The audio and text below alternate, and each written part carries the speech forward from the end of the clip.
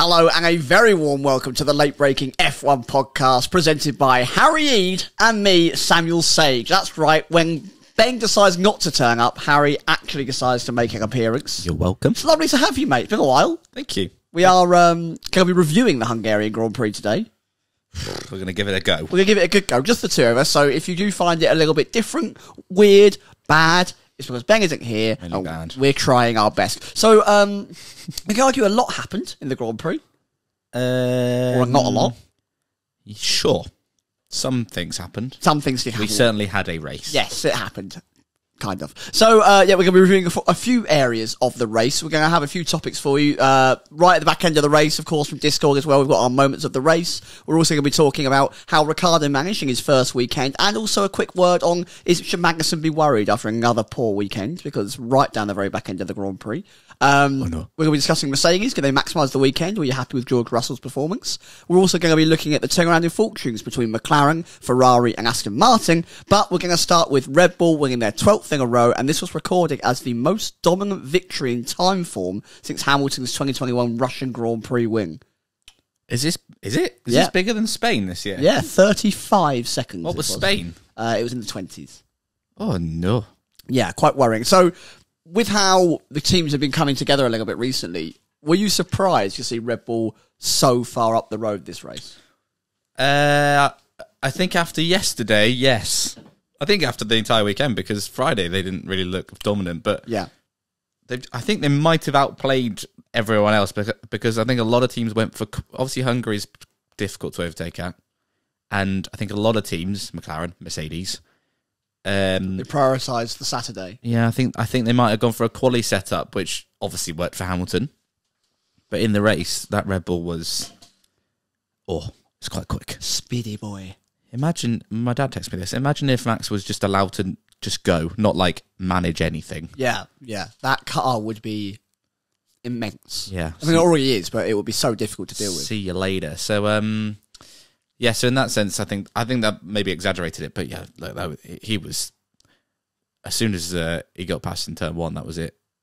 See you later, lads. I'm Yeah. gone. And what was worrying that came from the comms box while we were watching, we were watching the Sky Sports UK show, is that Crofty quite comfortably said that you know constructors championship could be done as early as Monza, and Verstappen could win the drivers as soon as Singapore, and that's with Perez consecutively scoring you know second or third places. You know if he keeps missing out on points, it could come earlier.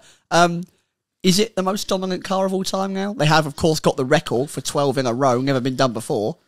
You, well, I guess officially, it, you can say it is. It's um, the thing is with the, the comparison to the the record they beat, which is The MP4 four, right? yeah MP4 four. Yeah. That car was in terms of actual time was so far ahead of the rest of the field, The gap was huge. like just anyone. So I still think the gap we, we still have a tighter, closer field than we do uh, than they did back Yeah. then. Yeah. Um, but yes, it's quite a good car. It is quite a good car. Turned up with letter boxes for for side pods on Friday. Uh, what didn't look great, and then they've won by thirty five seconds. Yeah, you heard Verstappen come over the radio at the end saying, you know, in his in his post race interview, we set the car up for the race as you mentioned, and it was we, we had to compromise the Saturday. Really interesting to hear that a car that's that dominant, they actively said, we'll put we'll put qualifying to one side. Because if you can sacrifice qualifying, th- well, sacrifice and finish P two by three thousand. Yeah, oh, right. Oh no. Basically, pole anyway. Yeah. Then yeah, why why would you not bother doing that? Because the race is where you score points, Exactly. Yeah, you get all your points on the Sunday. unless it's sprint weekend. So, um, Verstappen, of course, basically led every single moment of the race, apart from a short stint where uh, Hamilton was just in front going into turn one. Had five seconds. Yeah, that was it was interesting. It's good. Um, yeah, he came out in front of Perez. And speaking of Perez, starting in ninth place today, how do you feel about his drive back through the field? You think it was satisfying? It was Well, good. we watched this together, um, and there was a lot of praise for Perez, and yeah, I think he had a good afternoon. But it's praise for him making up for where he should be, like making up to where he should be in the first place. And it was a feisty drive. I think he, given that track, he he could have got stuck, and he didn't. Again, I think he probably should have had second place. I don't yeah. think he managed that bit well at the end, but um, it was fine. It's just an, I know he was wasn't out in Q uh, Q two this time, but P nine considering where that car is is still not great. But it was a better afternoon for him, so he's got that at least. Uh, but I don't know. It was fine. I understand that. Well, clearly they've compromised the car for the race, and they must have done the same for Sergio. And when you're already not great at qualifying, it's already your weaker aspect. I would have maybe asked for a qualifying. Like I was saying, I wouldn't mind being up there. You know, I do kind of need the grid position, but you know, he. What I was really encouraged by, like you said, it was not the drive back through in the manner that he performed it because he shouldn't be there in the first place. He shouldn't have to overtake six, seven cars to get back to the position that the car belongs in. But it was the vigor, the aggression. It was well tapered. It was managed, but like he got everything on the track done to the limit it needed to be done by. It was cutthroat. It was ruthless. He wasn't stuck behind on for absolutely ages. Every time there was a sniffing of, over- of an overtake, he got the car in the right place. He got the overtake done, and he was off on his way. That's what I want to see from Sergio. I can understand why that will hopefully give him the boost he needs. We'll go into Spa right before the summer break, and actually he can carry that form through now for the rest of the season because he does need to have back to back several good performances now. It can't just be a one off. Yeah, I, I do wonder what would happen if Fernando Alonso decided to be a menace because he was stuck behind him at the start of the race, Mm. and then Alonso was like, "I've had all of that, I'm not doing that anymore." Yeah, off he goes, Sergio. and if you, sorry, Right, us Mike's belt my, my headphones. Yeah. Um, so I do wonder whether that would have halted his progress if Alonso decided to to keep doing what he was doing there. But um, it was more encouraging for Checo this weekend. Oh, apart from the crash in FP1. Yeah, don't do that anymore. Plus, don't do that. Stop hitting the walls, Sergio. Have you seen that clip of? Um, it's not it's not English commentary, but they're they're reading a sign that was in the crowd. It's the shot of the crowd, and it says "Welcome back, Daniel Ricciardo," and it's literally the next shot. It's in the wall. Perez in the wall. It's like something from the office. That is, you can imagine cutting to Ricciardo just kind of awkwardly looking at the camera, and you know, Jim Jim Jim Ricciardo. Jim Ricciardo there. Yeah, brilliant. So yeah, all round a very good weekend for Red Bull. Uh, Max Verstappen takes home the absolute maximum points that he can. He got that fastest lap as well, which is pretty mighty. And this is this is a good turnaround for Sergio. We're very interested to hear what you lot all listening think about Sergio's comeback. Do you think the comeback was worthy? Do you think that he should have started, you know, back on the top three anyway? Uh, is he just doing what the bare minimum needs to be done? Uh, but I guess we should look at our uh, moment of the race, driving not one of the race at the end. We'll do that later. this mate. is why Ben runs this. This is honestly, I didn't know that Ben wasn't here today until Sam came over and was like, "Oh, we've got to do the schedule," and I was like, "Why?" Yeah, And then that's how said- out of it you are. Yeah, I was like, We're also both hungover. "Yeah." Ben Ben's at a wedding. We got drunk last night. Yeah. Is Um, that the was that the washing machine I can feel vibrating? oh yeah. I am bouncing in this seat because of the washing machine. There's a lot going on. Yeah, literally. Woo! Uh, like I'm on an exercise ball. Um. Uh, got to do driver of the day. ah. Okay. What do you think? Who who really impressed you today? Max was pretty good at the F1 again today. Ah, he's, he's all right. That that Max. He's all right. Oh, do you know? I'll go for. I'll go for Lando Norris. Yeah. British bias. Oh, lovely bit of British bias. I know he he was slightly fortunate with getting pitted first, but I think after that he had he was the quicker McLaren today. Yeah. Um, and I just enjoyed his radio messages when he slags everyone off. I can't it's not the top believe 10. that. Can't. be- What are they even racing for? Nothing.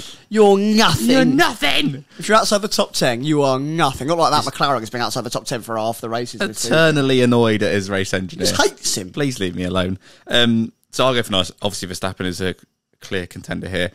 I will give an not for dr- driver of the day, but honorary shout out to Ricciardo because I think given he was punted, Yeah, not At a, a T1. welcome back, Ricciardo. yeah, have some of that. Um, I thought it was a good recovery drive to get back to where at least where he started. Given Yeah. that car is a tractor. Yeah, no, fair. He did a good job. I, I'm not saying yeah he deserves the driver of the day shout, but considering he beat Tsunoda, and we'll get onto this properly later, it's a commendable effort for your first weekend, and we'll we'll dig into it a little bit more towards the end of the show. Um, for me, I think you've already mentioned a couple: Norris, Max, uh, George Russell. Um, I think was actually pretty decent.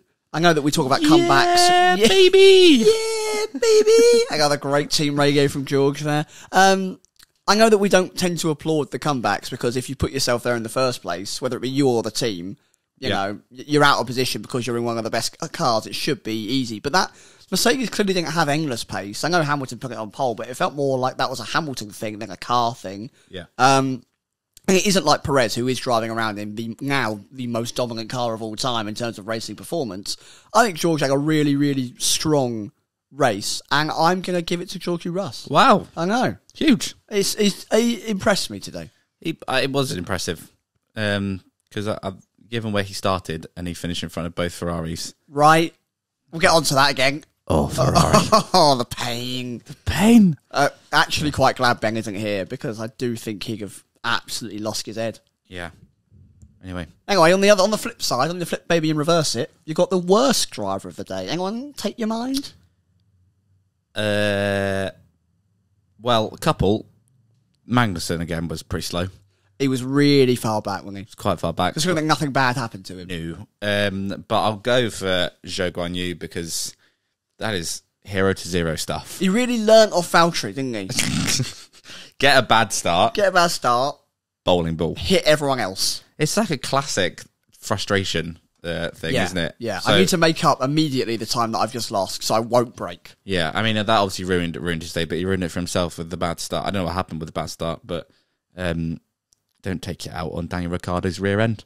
I mean, I'm sure a lot of people like to take a lot of things out on Daniel Ricciardo's rear end, but He- preferably, he slapped that booty. woo, but preferably not the Alfa Romeo itself. Um, that's not a lot of fun. Yeah. Um, who am I going for on this one? I mean, Zhou's obviously a great shout. I'm going to try and steer clear of it because we're already having it as an answer. It's hard not to look at the likes of the Ferrari drivers today. They weren't good. Yeah, You know, they, they didn't do anything exactly wrong. It was just like Leclerc got himself that five second time penalty. He was not on it all day. He's screaming at his engineers who don't know what's going on. be fair, free yeah, man. again, yeah, free. Sainz was quite slow actually. Sainz was also slow. The fact that you know he stuck on those soft tires and couldn't get the, the move done. Well, the fact that Leclerc still got back past him despite having a nine second pit stop. Yeah, that's painful. Yeah, Um, and I think Leclerc ended up beating Sainz because of, even with the penalty applied, he was far enough ahead. yeah. It's not. I'm, I might actually have to go Sainz now. I've thought about it because even though Leclerc got the penalty, he still beat his teammate. Um, yeah. Carlos. Ferrari. was Check, well, we'll maybe, yeah, we're going to speak about Ferrari because it's been a bit of a, a hellhole weekend for them. couple of weekends actually. Um, okay, big brain strat. Uh, big brain strat. I should have played some of these jingles, shouldn't I? Oh, have we got a big brain strat one? Uh, I think we do. do. you want to play it? Uh, hang on. Look at your little list. Got me a little list there. Oh, bank two. Here We're we getting go. there, folks. Hold on, we're almost there. Oh, Jesus. Uh-huh. Sorry, Bob, everyone. We're gonna need you to box for wets. What? It's, it's not even raining out. What are you talking about?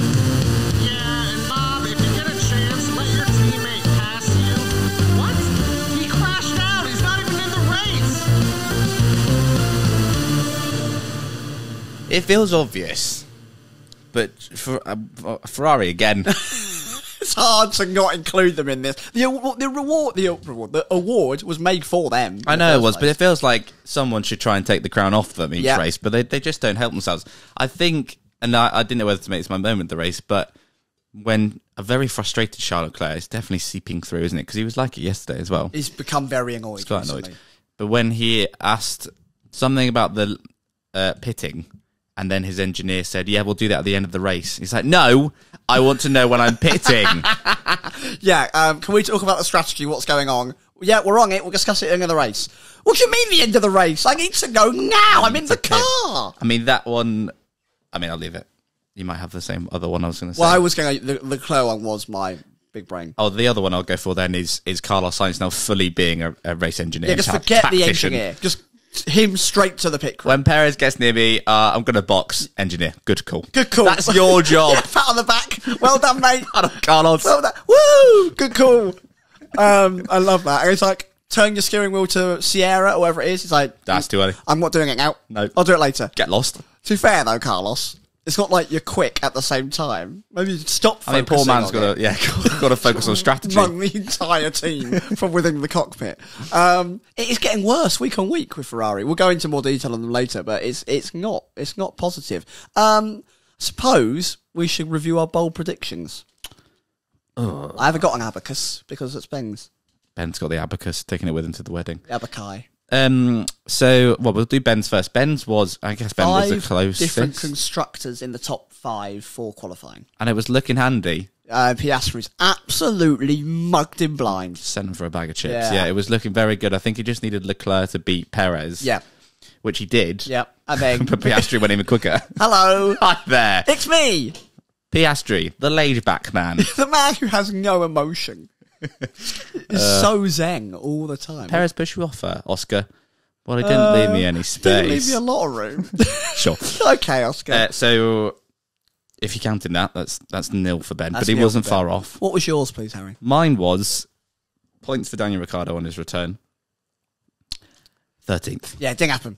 didn't happen, And then I very much went down the same route as you, but then just slapped another layer on top. and that other layer turns out to be correct. Was right But I can't have that. in a classic fashion. Yeah, I, sometimes I really should just limit myself. Just do one, mate. But that the other one was too simple. Yeah, I think Perez on the podium, but I'd give you slack. Yeah, I get it. That's why I had to Yeah, fair. chuck something in. Um, so it's uh, let's just work that out. Ben, on the radio here. Um, All right, what does that mean, Ben, for our bold predictions? I'm not please? doing a Ben impression. Can't. it's terrible. Um, Uh, I think. Uh, oh, it's nil nil nil. ah, still nil nil nil. So I'm still losing. Um, can't wait for the Twitter account to get taken if over. Twitter's still here, I could say I might delete my account by that point.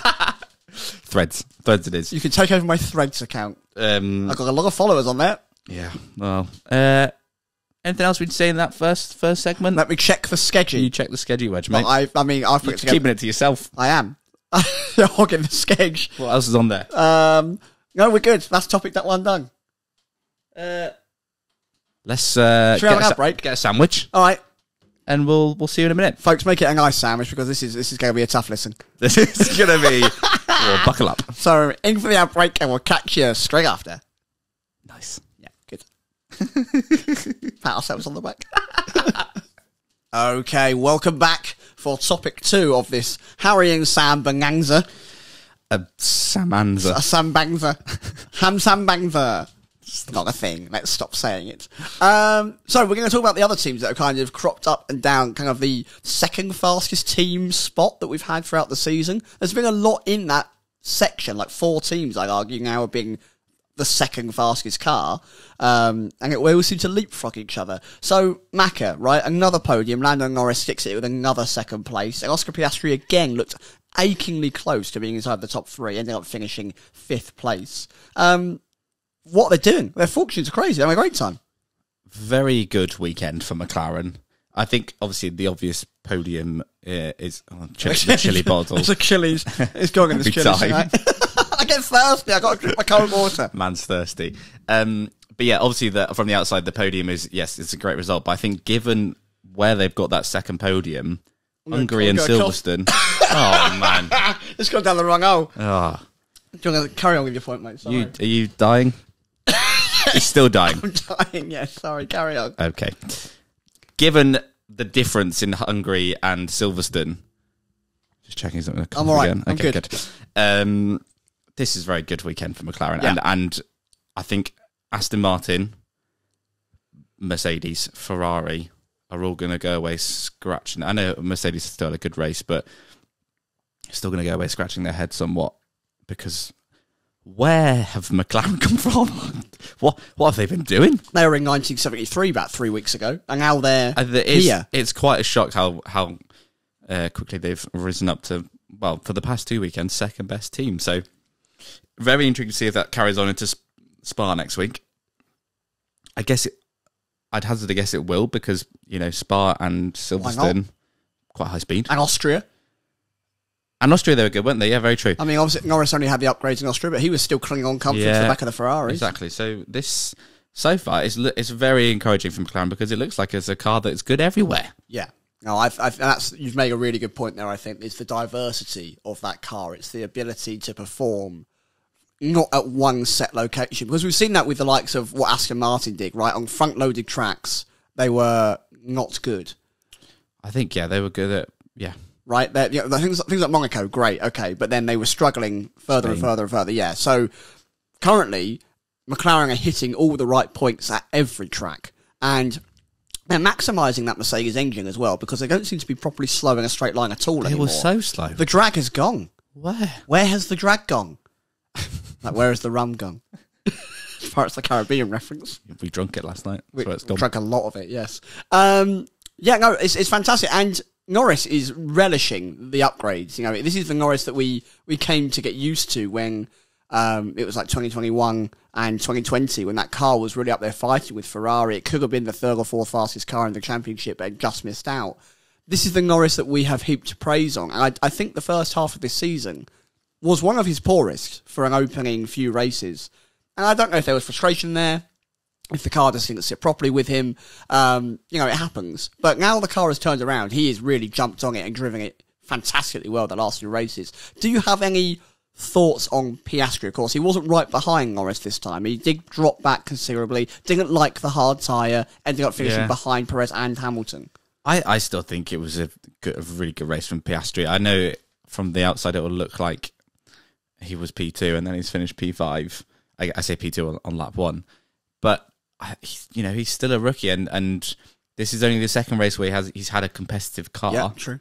Um, I think there's still a lot of learning going on there. So yeah, I think Norris is give Norris the tools and he's del- he'll deliver. Yeah.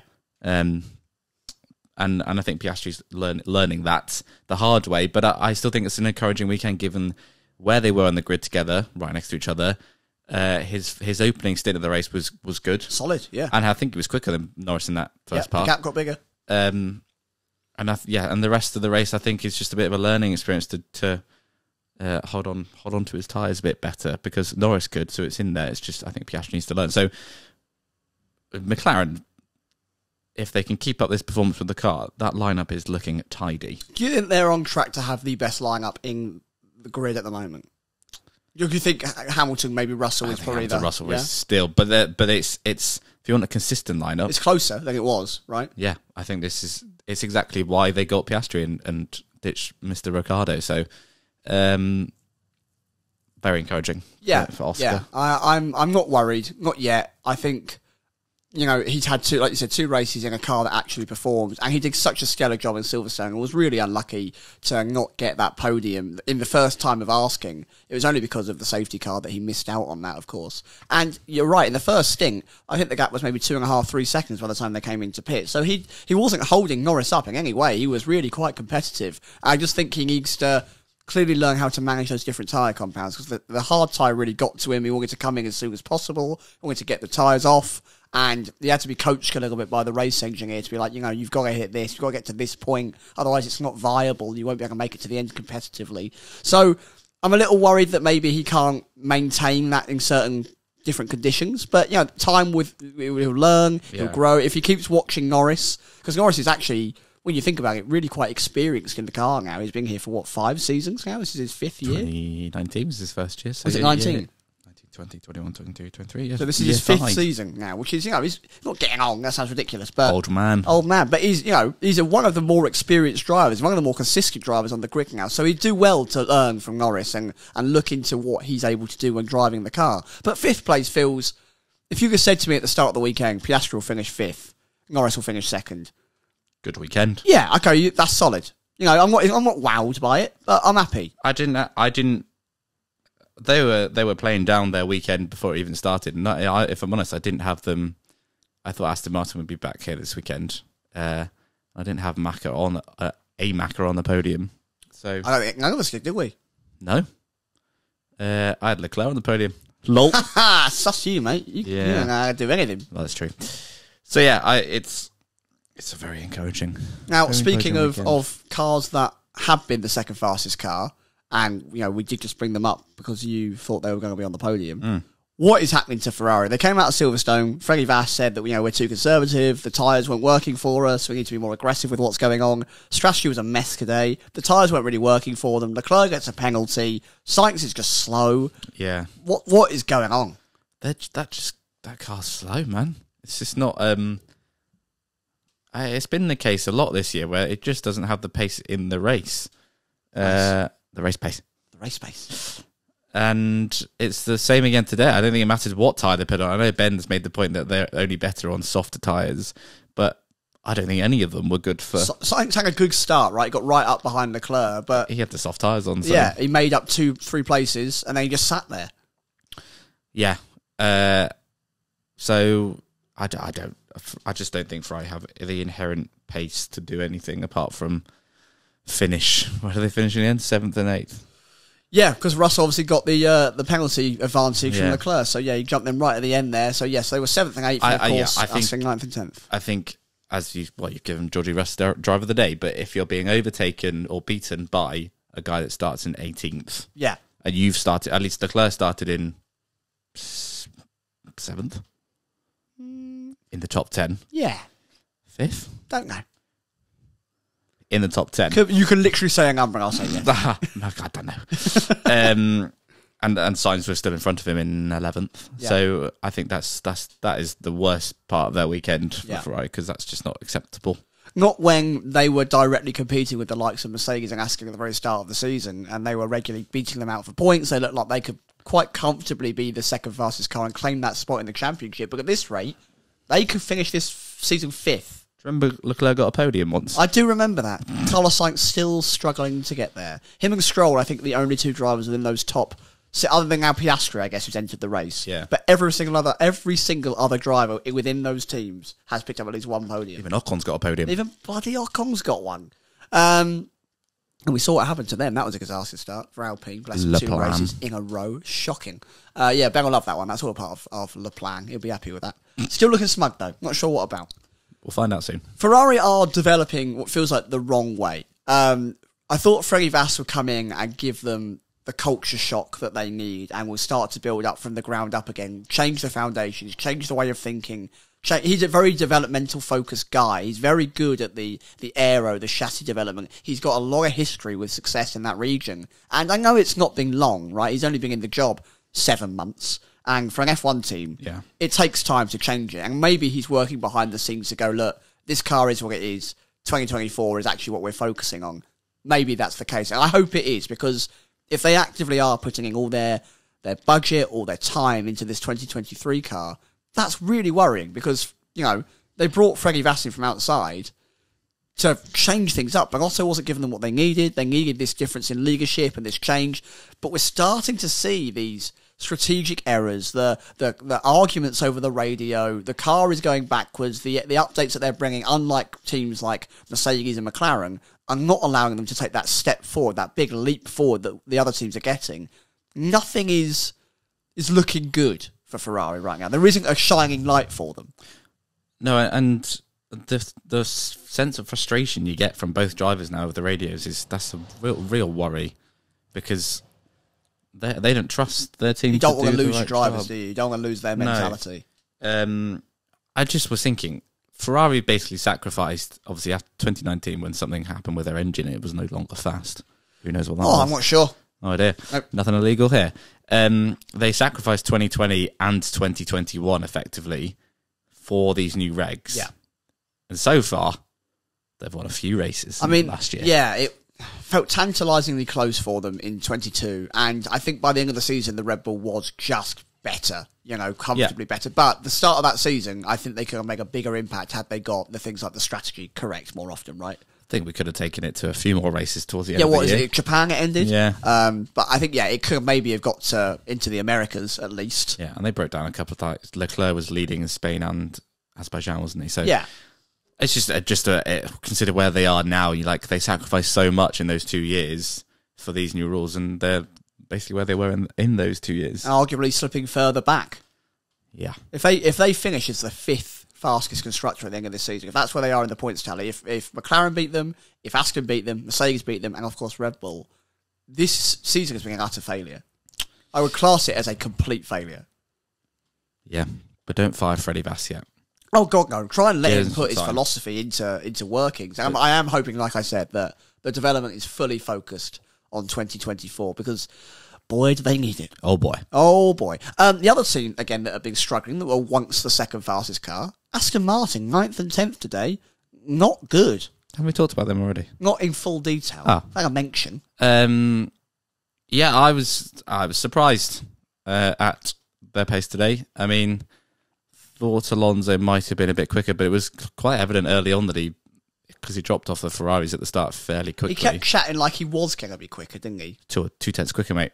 So I'm, I'm going to get there. He's seven seconds behind Fernando. So when are you going to do it? Yeah, so a, a tough one. I, I, as I said, I thought this was going to be a better weekend for them, given what the strengths of that car is. Yeah. Are. Strengths, strengths are, strengths are.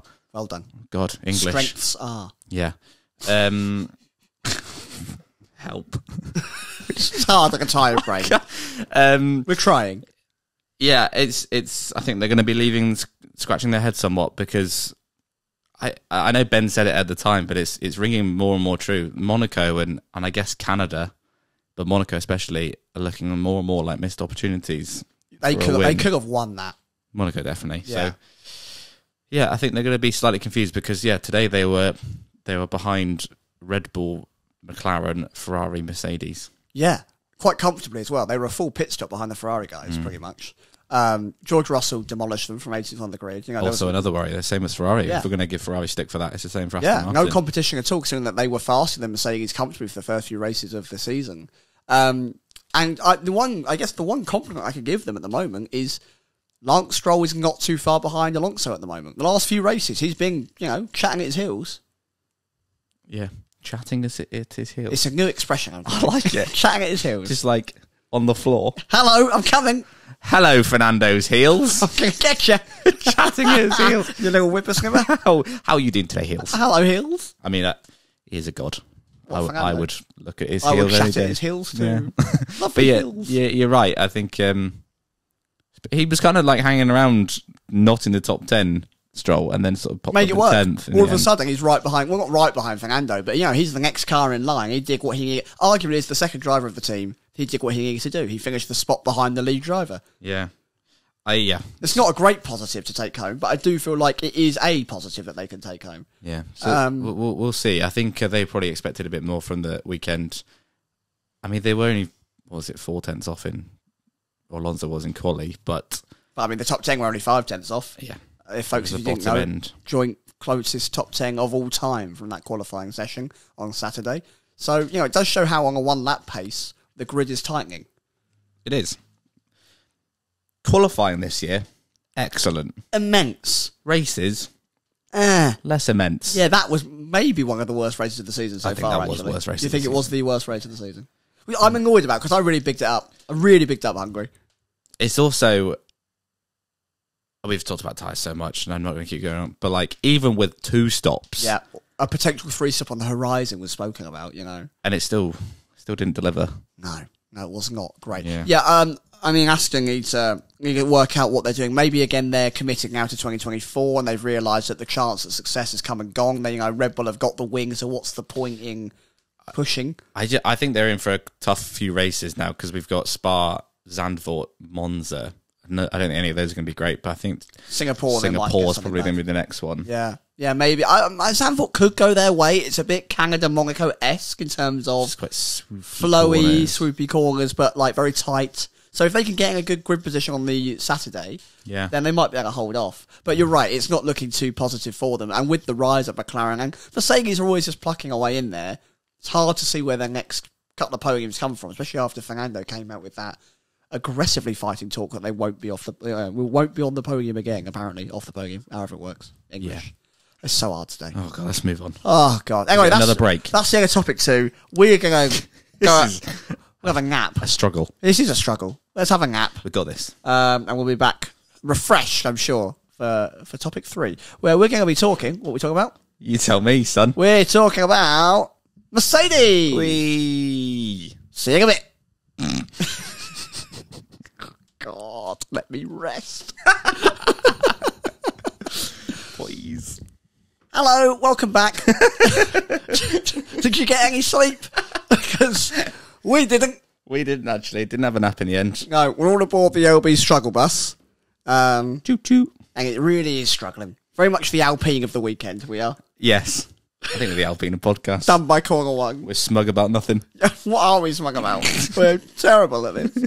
Anyway, Mercedes had quite a um, difference in fortunes on the Saturday. George Russell only 18th, and arguably the team are to blame for this. But you know he could have got a lapping earlier on in the session and made it work. But then Lewis Hamilton outdrove what I think the Mercedes was capable of doing, stuck it on pole position, and broke the Max Verstappen streak. So. How do you think their weekend went from those positions to the race? Do you think they've maximised what was achievable for them?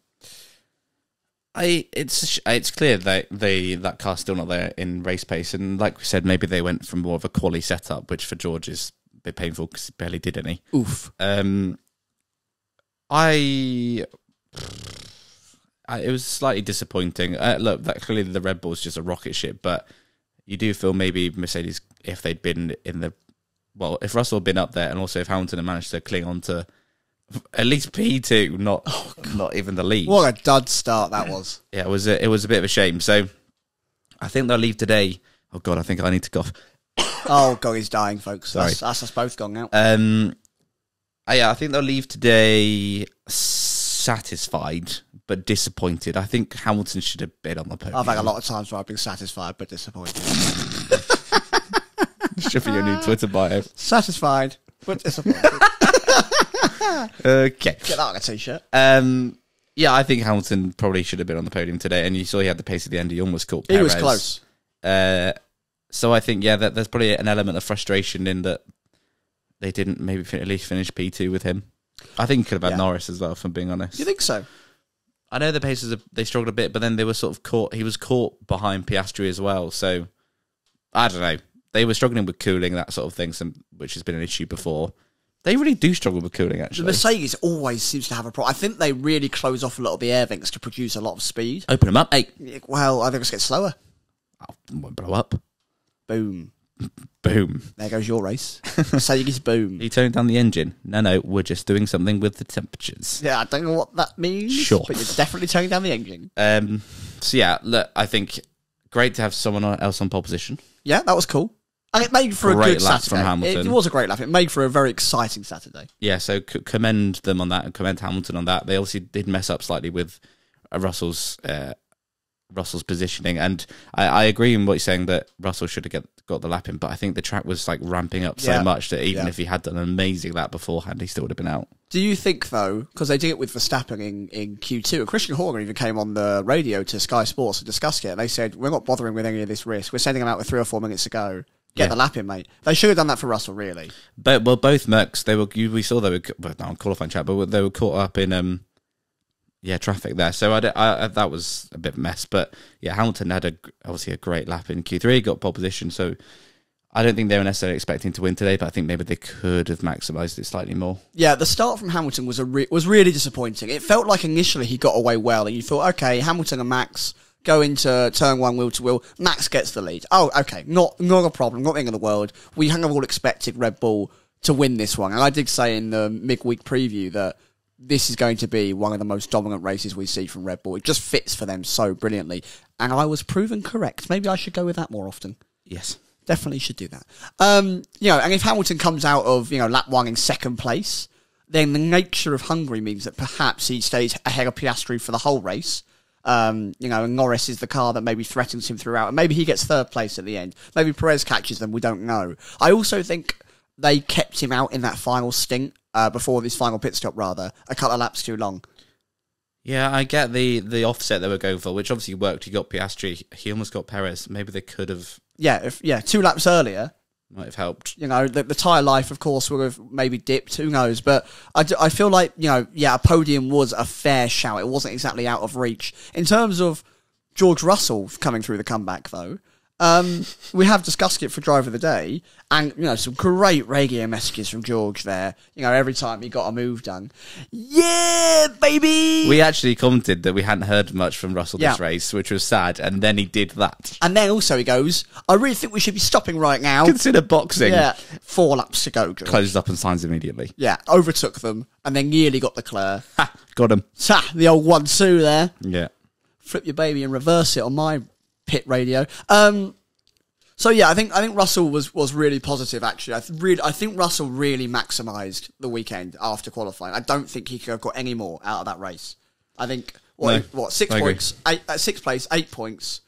I really do think that that's a he can walk away happy. That's a really solid performance for him in a car that is never gonna. It's not a dominant car right now. It's not like Perez doing it. Yeah, I agree. I, I people are gonna say I'm a Hamilton hater. I know I have that reputation, but I'm not. But even he admit, I like he admitted on the radio because he said sorry. Yeah, He could have done that whole start, even even if not the well, obviously the start itself could have been better. But I think just the way he positioned the whole, he defended heavily from Verstappen, but then he got hung out to dry. Yeah. and then Piastri and Norris got past him. Yeah. and you can tell he knew that he'd sort of messed that up a bit. Yeah, I don't. You know, it feels harsh, but it did feel like a bit of a rookie start from from Lewis. It wasn't. He's had better. It- well, yeah, I mean, he's had a lot of them, So yes, he has had better, but this wasn't good. You know, your first time on pole. You didn't, For, you didn't read it that well. when was the last time he got a, a bloody pole position? 2021? Yeah, Brazil, twenty twenty. I did get. It was Uh, Abu Dhabi? No. no before that. Uh, Saudi Arabia 2021? Yeah, it's ringing bells. Tex- Whatever. a while ago. Towards the end of 2021, that was the last time we got a pole. And I get, you know, been a while, but you have got 104 of them, mate. So, you know, you've done this more than anyone else ever. Um, it was really bad. It was really poor. Confirmation from K Dog Yeah. It's Jeddah. Jack, thank you, K Dog. Producer Kursky coming in clutch, as always. the only sane member of this group. Um, yeah, so, you know, you think I'm Lewis Hamilton. I'm the seven time world champion. I've got one over 100 race wins. I've got over 100 pole positions. I should know how to manage the start of a race. And yeah, I think maybe I, I'm sounding like I'm being a little harsh here, but I was really disappointed. By the end, halfway through lap one, your fourth place, starting to fall back even further. I was let down. Also, I was let down because I wanted an exciting Grand Prix, and that felt like the way we were going to get it, you know? Yeah, I was just a bit surprised. He's raced Verstappen a lot now. I think it was obvious that once Verstappen was alongside uh, in that run down to turn one, he was always going to break later and hang him out to dry. It didn't, and that's the thing. I think the move was completely fair. It was, and it was completely fair. But he just, I was just a bit, I don't know, a bit surprised that Hamilton didn't try something How many else to cut times back. do you get or, playing at the same game? Yeah. Anyway, so it's- I guess yeah, as you say, it comes from a place of disappointment more than anything else. That after such an exciting quali, and yes, as, as I say, Mercedes probably weren't going to win the race, but it would have been If he holds on interesting to to second, get a bit of a headache. do you think Lewis Hamilton gets second in the race? Quite possibly, Yeah. because I guess maybe they won't have the cooling issues because Verstappen would have run off anyway. Um, it, it, he definitely would have been on that. I think the podium at least. So the question at the start of this topic was: Do you think that Mercedes have maximised the weekend? And you're going with Sort of. good. That is so you. It'd be more you. It's a yes or no question. And I said sort of. Good. Uh, well, I think the. Well, I guess in that case, no. So I think Russell did. I don't think Hamilton did. I don't. Think, I think Hamilton maximised Saturday. Russell maximised yeah, Sunday. yeah. So together, they, Sort of. they got half of it. So that's where my sort of comes from. They Half half. max. Oh, bloody hate this show sometimes. I'm so, my eyes are so heavy. I know it sounds ridiculous. Sounds gonna fall asleep. I'm so tired. I'm absolutely shattered. Um, all right, well, let's know your thoughts on Mercedes, folks. Discord link is in the description. We'd love to have to have you in there. Loads of new joiners recently. It's really, really good. This isn't the end of the show. I'm just saying, you know, get in there now. Is it not? No, Oh no. no, no, no. We've got topic four yet to go. Uh, what are we doing? Ad break for that one? Or You're just going to roll into no, it. I'm doing ad break. You're crazy. I'm just teasing. You we, are doing ad We break. need the dollar. Okay. Um, so we'll see you after this. We're going to be talking Ricciardo and K Mag, who have had two kind of juxtaposing weekends. nice. See you in a minute. Bye. Bye. Hi. We're back. Uh, slowly losing our minds. It's quite hot in here. It's very warm. Whatever warm. It's very, very hot. Just got the fan. Very hot. Um, and we're very, very tired. And we're going to be talking about someone who also might be very, very tired because it was their first race back in, you know, half a season or so. Yeah. Might be feeling it. Daniel Ricciardo, he got absolutely punting on the first lap by Zhou Guanyu. Yep. Amazing his car didn't obliterate because the two Alpines around him did. Um, I'm going to be quite gutting if he retired lap one, turn Yeah. one of the race. But how do you feel it went for him as a race? I think the entire weekend has been very good for Daniel Ricciardo. Yeah, um, yeah as I said, I mentioned in my driver of the day uh, pick. He obviously he wasn't, but but I think given he obviously started in a pretty good place. It's the first time that AlphaTauri have not been out in Q3 since Monaco. I think they Q1. said out in yeah, sorry Q1. Uh, so that was impressive in itself. And then the fact they got punted and was last, I was like, oh no.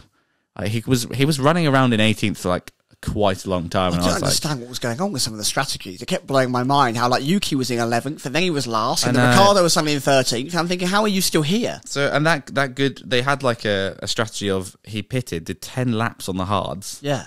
And then pitted again for mediums, and then he did he did probably one of the longest last stints on the medium tires, and I think that in itself is fairly impressive because he jumped everyone, but he wasn't. I thought I said this to you. I thought he was going to be under pressure towards Dropping the like end. No one. Nope. Not not not even close. And I think he was sort of catching Bottas.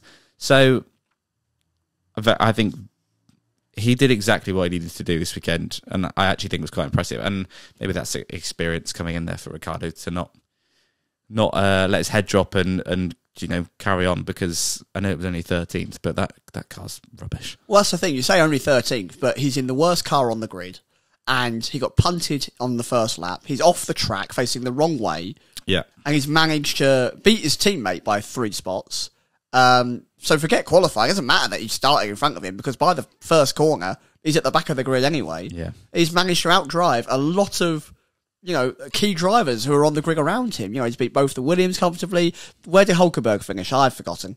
I think it was behind fourteenth, There you go. So he's beat Hulkenberg, who started well in front of him as well. but that's the Haas man. Yeah, I know, but hey, you know, he was again. He's off the track after being rear-ended by an Alfa Yeah. Romeo. You Yeah, know, true.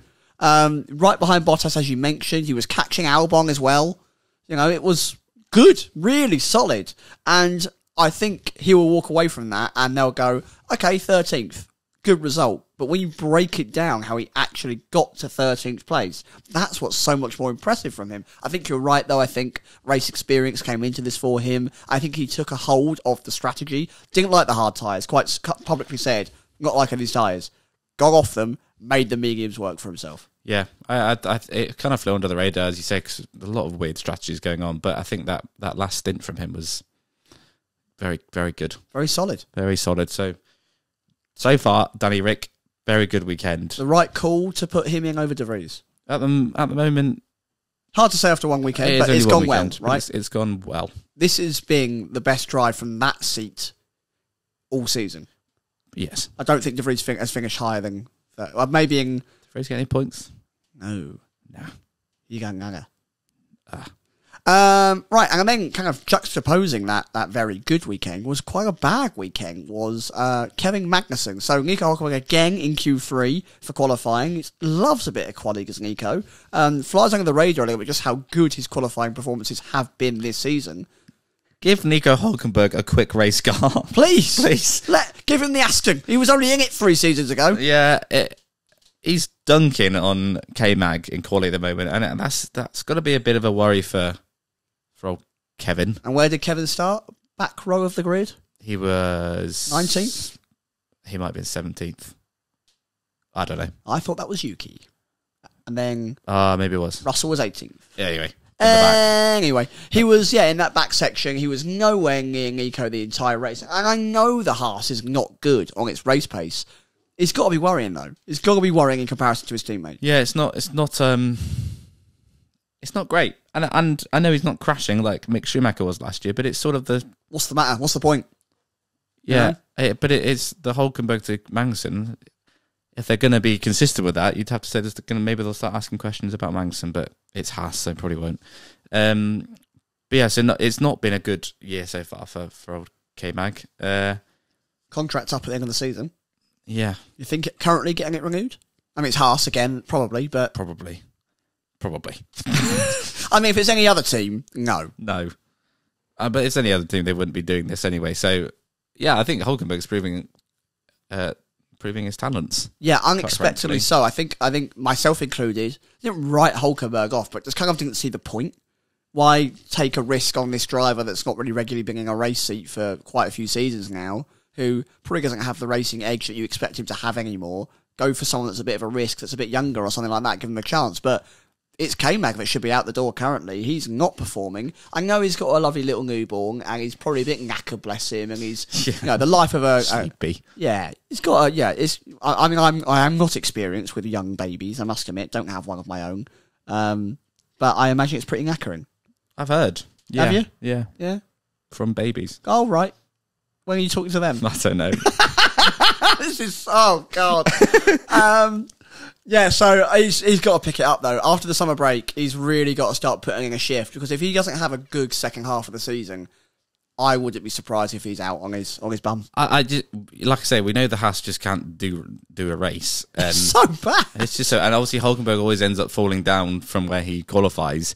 But it, it's if the car can qualify well, then Magnussen needs to do that as well. Yeah, if Hulkenberg's doing it, K-Mag should be capable of doing it. At least, at least Hulkenberg's giving it a chance to try and get in the top ten. We always say, don't we? Like, you know, if your driver is one place and the other driver should be maybe one to two places behind, that's a fair. Yeah. You've done all right. You know, that's okay. You should not be eight to nine places down on a regular basis. It's not like this is happening one every ten races. It is almost every Grand Prix at the moment. Yeah. Um, so yeah, pick it up, pick it up. Okay, Mike. Pick it up.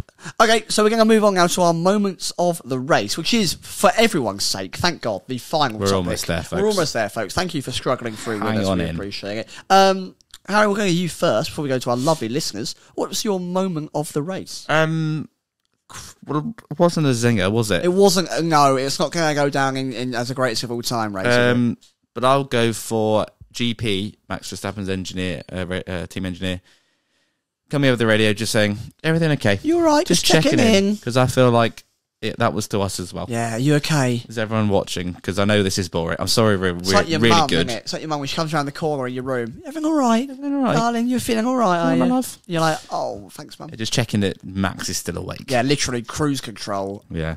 So I'll go for that because it feels appropriate. I'd like to, when Max is that far ahead, I'd like to challenge him to try and do a lap with his eyes closed. Not like it has to be the fastest lap, but can he just make it round? Because I think he probably could. I bet you know that track well enough Yeah. that you could probably work out the timing easily enough to do it. That's a good idea. That's fun. Next time, Max. Let's try that. When you get plus 30 ahead, you have to do a lap with your eyes closed. That's the new F1 rules. Um, what am I saying about my moment of the race? It was hard to pick, wasn't it? Let's all be real. Um, it's it's not fun. The race wasn't great. The the fight between Perez and Piastri was good. You know, it, was. it was a squeeze, but you know, we, we kind of agreed that it was on the limit, but the right side of that limit. Enjoyed that. Um, I think I might actually just go for Ferrari's team radios today. Yeah, it's been been solid stuff. Yeah, I also just enjoyed, as we've already mentioned, George Russell going, "Yeah, baby."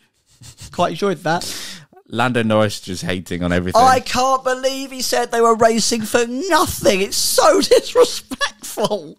He was there like four races ago. you were in like 13th place. What do you mean racing for nothing? Get out of the way! You're racing for nothing. Oh, you wasted my space. Get out of the way.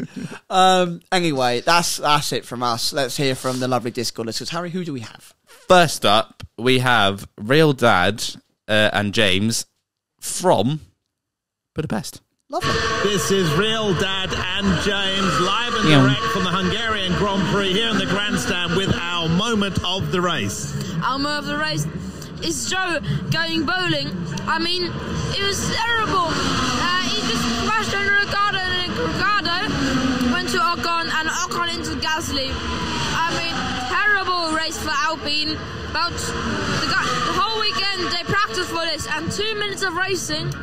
Uh, I mean, minutes like, is generous. Bottas probably teach them how to do it.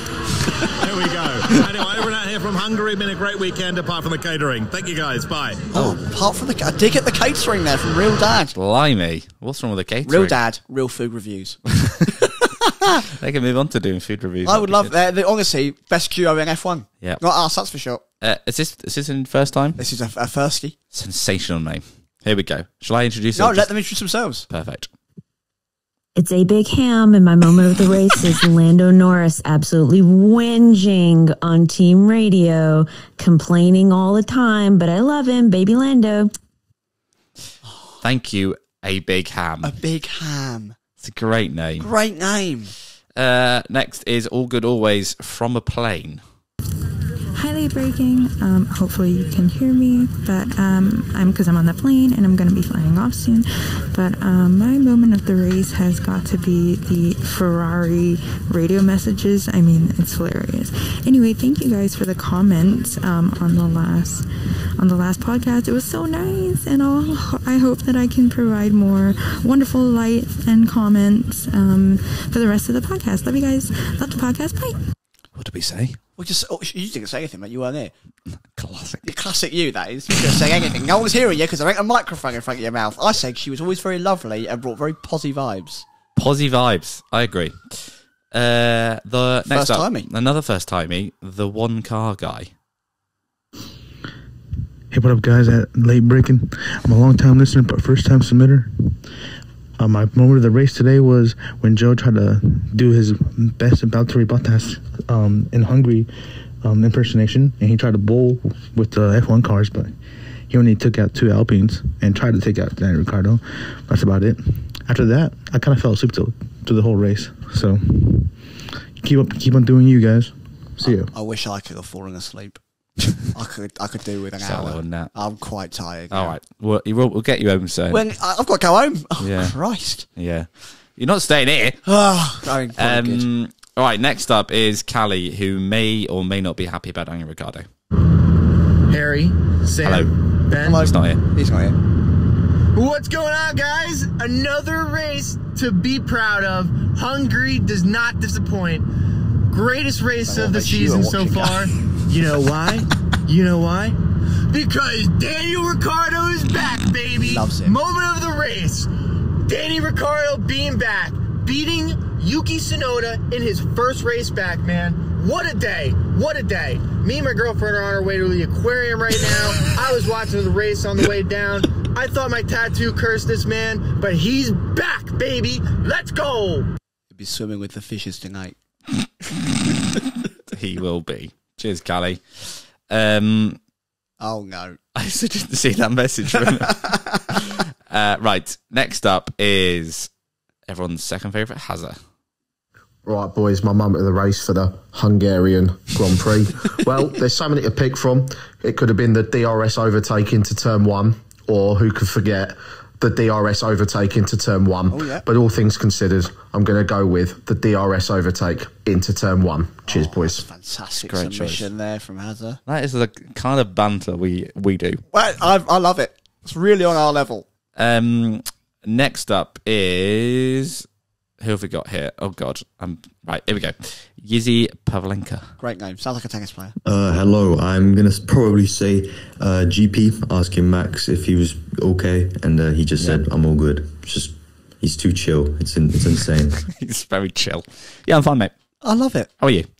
Uh, another first time from So Astro. many out of space submissions. Yep. What's going on, guys? Sam here. All Long time listener, Sam. first time submitter. My moment of the race was definitely Lewis Hamilton getting absolutely cooked off the line. uh, I'm a big Lewis Hamilton fan. Went crazy for pole position yesterday and was disappointed. Thanks, guys. Man, it's so sad. Roast his own f- So, favorite driver. so disappointing in life. do you want to? Do you want Yes. to do this one live? I, Steph can't drive. You submitted this whilst we've been recording, so we're going to take a Oh, my real sweet risk. lord. If this is bad, it's all on you. This is getting edited out, isn't it? Right, here we go. Steph can't drive. Please, please be good. So, not necessarily a moment of the race, but the highlight for me was watching the F1 Juniors broadcast of the Grand Prix. Oh yeah. It was so much fun. The kids were having an absolute blast. The graphics were really cute and super engaging. Harry Benjamin did a great job of explaining everything and getting the young commentators involved. It was so great to see young and diverse talent leading the commentary. I hope they do more of them. It was so fun. Wholesome that was. Wholesome, good quality. Wow. Steph, you've not let us down there. Cheers, Steph. You Steph. might not be able to drive, but you can submit. Steph can submit. Do more. Change your name to that. I enjoyed that. Yeah. Good, Um, good, good. I'd like to see more images from the, the youngsters, the junior show. yeah, I've seen. I've seen a few. I've seen a couple, but I'd like to see some more clips because it's very hard when you've got to do the show, this podcast, to keep an eye on the the kids one. Like this one. They're all flying. Why? What? I don't know why, but I, Lap 22, they put all the F1 cars in as balloons. that's not something I would do for fun. it's like we've got control of the broadcast. I know what we're doing next lap. Put them all on balloons. Also, it says Verstappen leader! Exclamation mark. I like that. The we're, gonna- leader. we're just discussing pictures you can't see, but Yeah, sorry, but you can like- look it up. Looks like a lot of fun. Maybe we'll watch it like that next time. I would like to put all the drivers in balloons on lap 22. Um, oh, it's 59 minutes. We bloody made it. We've, we've got to an hour. Good lord. I can't believe we've made it through. I mean, I don't mind doing them just you and me. Obviously, when Benny Boy's not here, I think most of the time it'll be fine. The bloody washing machine's going, and I am vibrating. Um, but because we're both so tired, this has been a bit of a struggle today. It's been, it's been a lot. So, for all of those that have stuck with it, we do really appreciate you. Thank you. And please stick around because the next episode is episode 300. 300! Um, which is mad. Uh, We've got some big stuff going on for 300. do What, what are you doing? Uh, you'll find out. And you'll find out what I'm doing too. On you episode 300. Better come and listen to episode Yeah. 300. We've we've known about this for a long time. We've still not really planned anything. How many times have we sat down and go, what should we do for 300? Yeah, and lot they never fans. come up with a decision. Anyway, there'll be some bits on there. Um, But, it's also the Spa. Belgian preview. GP the Spa preview. Yeah. Yeah. Belgian GP preview. That's Mick Week. Harry will be there for it.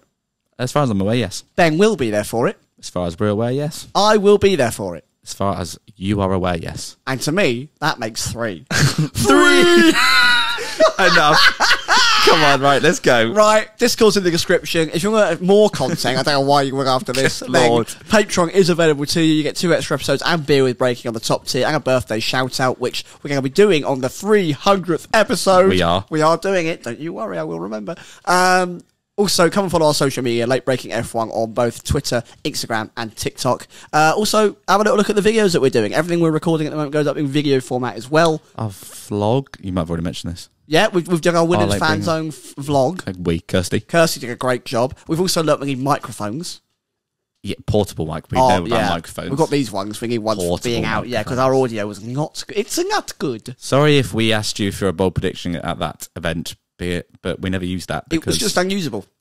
We're really bad at it. It's just lots of noise and me stood with a cardboard thing with random people. When you watch it back, it wasn't the best content. We've done better. We have. Um, but don't worry wrong. We're learning. We're, we're practicing. We're trying new things, and there'll be lots more real life content coming soon. But go give YouTube a, a subscribe. We really appreciate. it. We're trying to grow it. Uh, I think that's everything. We've made it through. In the meantime, I've been Samuel Sage. And I've been sorry. And remember, keep breaking late. Oh, Finally, I can rest. thank God.